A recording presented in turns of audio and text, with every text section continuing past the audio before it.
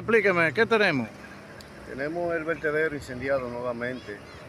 Eh, tú sabes que las temperaturas han estado bien altas y como tú sabes todavía eh, lo que es el cierre definitivo del vertedero está en marcha, está viento en popa, pero las temperaturas siempre hacen la de la de ella con la descomposición de los gases.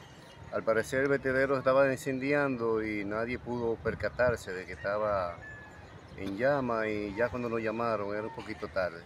Estamos trabajando hasta haber logrado la extinción de este, de este vertedero. Cuando el vertedero se incendió, yo pude percatarme de que la temperatura estaba en 37 grados, demasiado caliente.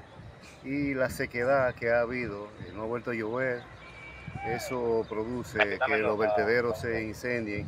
No solamente aquí en Moca, eh, estamos, eso es a nivel nacional, que los vertederos ahora mismo están incendiándose por las altas temperaturas que están aconteciendo en nuestro país.